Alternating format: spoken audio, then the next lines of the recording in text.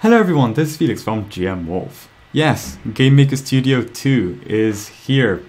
Beta is now available.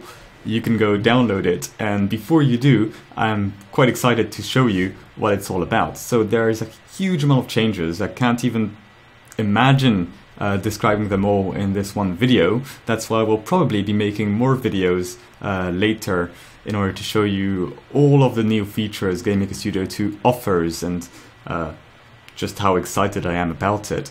So as you can see, uh, this is what it looks like, the greeting screen, the home start page, a bunch of different uh, options to start a new project, including uh, all your recent projects. As you can see, I've been trying out of quite a few different things.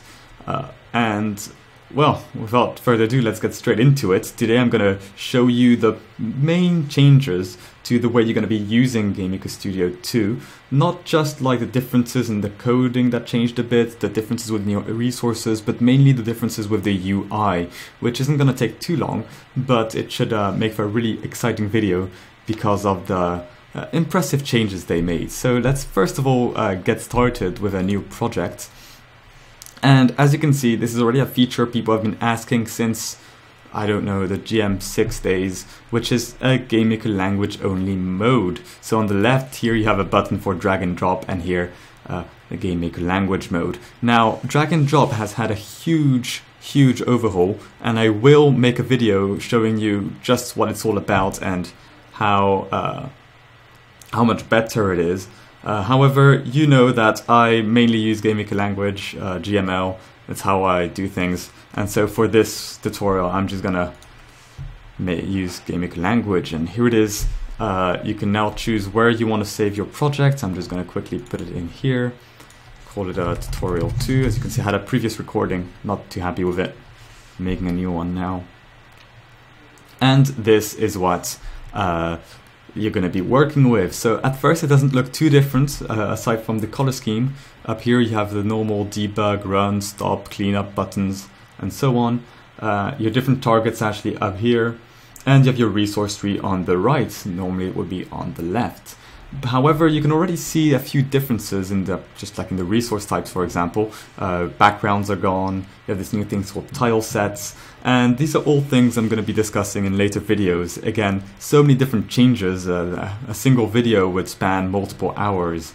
So uh, for now, we're just going to focus on how you use the UI, uh, how you get started really using GameMaker Studio 2. So uh, if you're familiar with uh, Studio 1.4 and uh, so on, you would know that you need objects and sprites and uh, you can either create them in the resource tree like before, uh, you'd notice maybe the buttons are gone from up here, or you can simply right click in this window here, the central one, which is the workspace, go to resource and select which kind of resource you want to create. Now we're going to start off with an object because this is probably the resource you're going to be uh, most interested in and you'll immediately see one clear distinction uh, GameMaker Studio 2 has which is this chaining system, this chaining workflow uh, as uh, Yo-Yo Games call it. So we have uh, our main window here and the events window on the right. And uh, you can also uh, open your parents and your physics objects. And uh, you may have noticed, yes, you can move around in the workspace. So this allows you to have lots and lots of objects open and move around. And this chaining system allows you to not have every single aspect of your open of your of your object be open on your screen, cluttering everything. Uh, so again, this chaining system also applies to events. So if I create a create event, it creates this little code window here where all my creation code will go. And again, it is chained to the events. Uh, it actually takes it a step further. If I were to create a new script down here, uh, and we'll move the camera around, uh, and if I were to rename it in the resource tree, I could rename it to a cr underscore test, for example.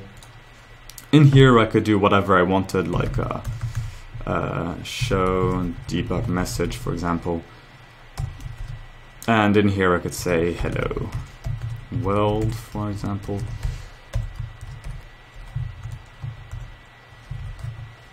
Yeah. And I can move back up to my object here. And if I were to type scr underscore test, uh, you can notice autocomplete is still here. Uh, and I now middle click it, it would not like it would previously open the window over everything. It now created with this little link saying that this code is actually being used in my creation code, which is nice just to be able to be more aware of the structure of your code. Uh, I personally think there is a slight problem with it, and that is um, it doesn't show it's connected to other uh, objects as well. So you, uh, a script that is supposed to be called by multiple objects uh, is only linked to one object in this instance. However, it is still open down here as well, and any changes you make in here, uh, such as a var i equals 0, will be reflected in this code editor up here. So, uh, as you can see, you can move around in your um,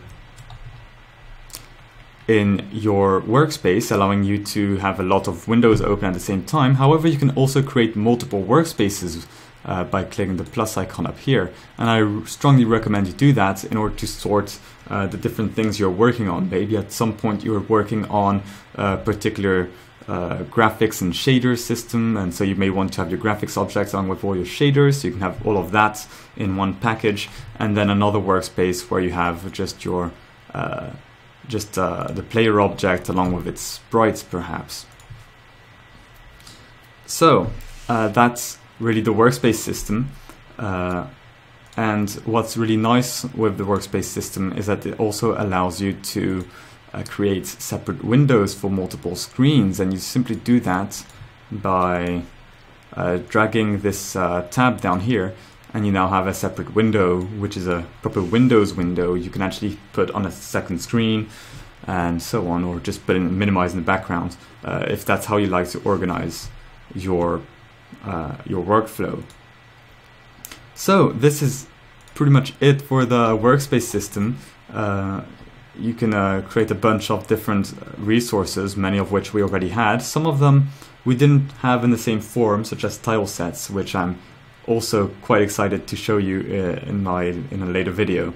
Uh, something else I want to mention, uh, you can move around your workspaces by pressing Control Tab and you get this nice, um, uh, this really nice shortcut system where you can just change between your different objects and it's uh, just a nice way of getting around. Alternatively, you can also just use the resource tree over here uh, in order to get around more efficiently.